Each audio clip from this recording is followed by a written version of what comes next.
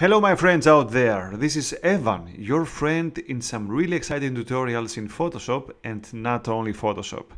Today I will create a tutorial for photographers and I will show you the way of retouching group photos. I know that if you are a photographer or if you ever uh, owned a, a photograph, a camera actually, and you tried to take a shot of a group of people, it was uh, really a big mess. It would have been really a big mess because uh, when you have to photograph so many people, uh, they cannot stand still uh, no matter what you will say. Uh, some of them will blink, some of them will turn their head, some of them uh, will be not in the most appropriate position.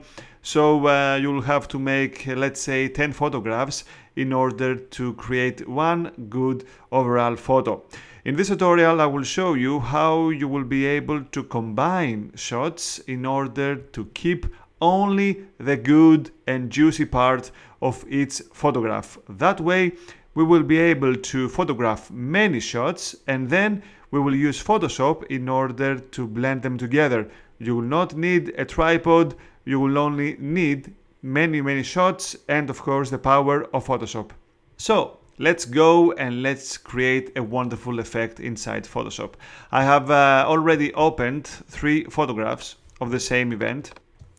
Of course uh, in each photograph I have uh, different people to collect. Uh, I think I will use this photograph in order to start. So I will use this photo. Okay. So this will be my main photograph. Uh, I will put it here. Okay. This shot was uh, in uh, actually, I have to move it. Okay. I will move it right now. This photo was taken in Austria, in the place uh, where uh, I lived the last three years. It was the birthday day for this lady over here, and uh, some relatives and friends gathered to, uh, you know, uh, enjoy and uh, have a wonderful day. So I will put all the other photographs inside the first one, you see. I have to drag and drop the other frames inside. So I have a final photo with three frames. Of course you can put more than three you can put let's say 300 photos if you like. Uh, but of course the, the Photoshop will uh, actually struggle to uh, load the final result. If you have let's say 5 until 10 photographs uh, in uh, this kind of layer thing uh, you will be able to render this really fast but don't put more than 10 let's say because it will be really stressful for Photoshop. So I will have to uh, unlock this uh, background first photograph and now I will select all the photos and the trick here it comes. I will go to the edit and I will select the auto align layers. I will use the auto command, the projection as you can see. I will hit OK.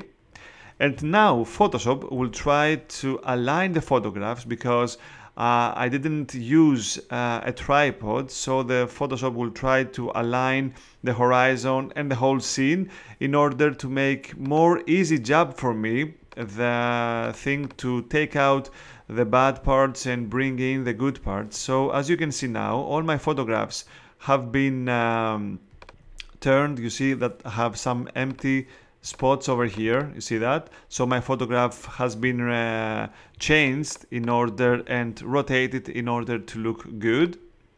And so now I have, uh, this, this will be my, my, my first photograph. And so I will start from here. So this will be my base. I will name this base and now I will build uh, over this photograph the good parts. As you can see, I have some blinks over here. I have uh, some hats going on over here.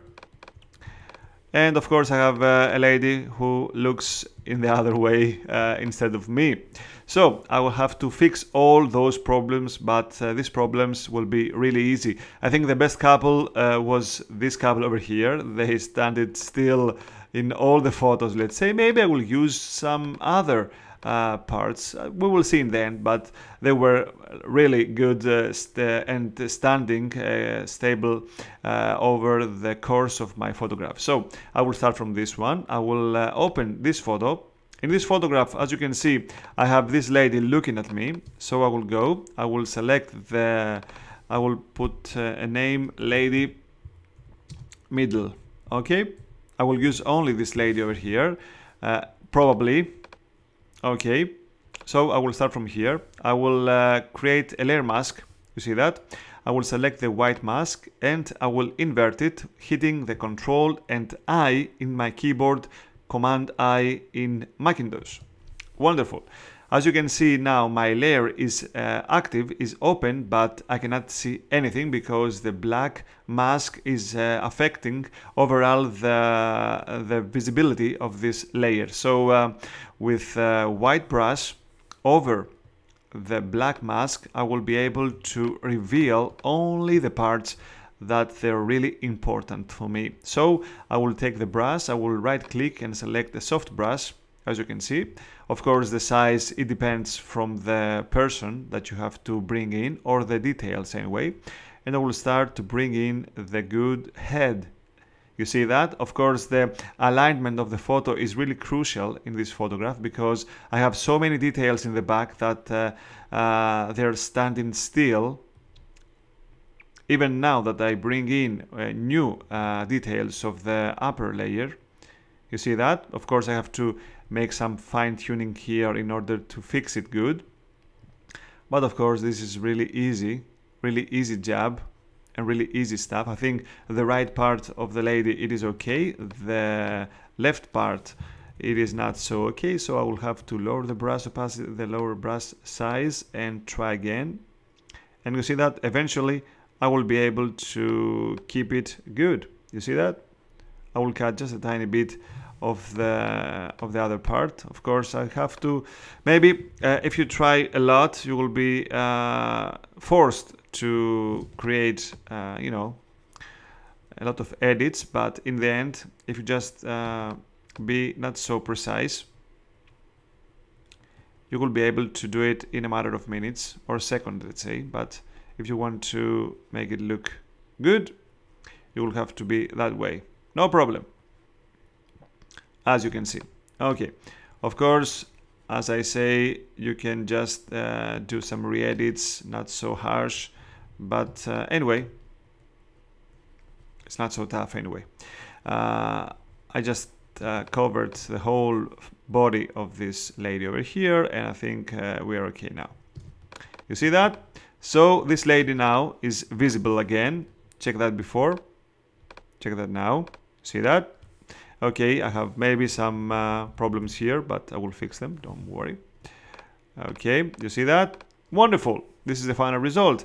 And then I will go and uh, change this uh, lady over here. I have a better uh, face of her here.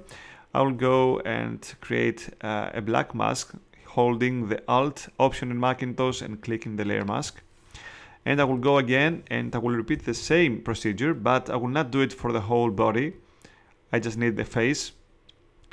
And you see that really easy just like a piece of cake. I have just converted the old bad position of the body to the new body of course. You have to be careful here in the uh, connections of the previous head to the new one. You see that? Really easy really good looking job. And really fast I have just created wonderful stuff and the last I think part will be this guy over here. So I will go and I will take out mm, I, I think it is a little bit tough but don't worry. We will make it. So we'll go check out the tree behind this man. It's straight. You see that? Wonderful job. Uh, the auto aligned of the layers inside Photoshop did the trick for me. So now I will uh, use you see that? Wonderful. And will, the only thing that I have to do is uh, to bring in the new face of uh, the lady on his uh, right here. And of course, we're ready to finish in just a tiny bit. You see that? So easy. It was so easy to bring all the guys, all the people in the photograph to look great so now they look great and I'm really happy with that result. So we're okay here, you see that? And maybe just a tiny bit fine tuning, but it was really easy for me to do that. I was, you know, really stressful because nobody was listening to me. They were, uh, you know, just speaking to each other, and and I was like, okay, I don't give a damn. I will just shoot 10 frames and I will just uh, retouching then uh, afterwards in Photoshop and uh, I think I did a good job. So my photograph is over. Of course, last but not least, I will have to cut the outer frames and maybe create a better frame of this photograph. I will uh, use the crop tool, of course, and I will have to go here and create maybe let's say a panorama style looking hit OK and my photograph is done. Check the first photograph. Actually I will have to hide the masks. Check the first photograph. Okay. Check the second one. Check the last one. And with the help of Photoshop and the magic of auto align layers I think I have a great overall last photo to be proud of. So use Photoshop in order to fix group photos. It is very easy. You just uh, loading inside one photograph all the rest layers and then you go to edit, select the auto align layers and then last but not least you will use the masks in order to reveal or hide stuff inside your overall last photograph. I'm Evan, your friend in some really exciting tutorials. If you like the tutorial, please like my work with a like.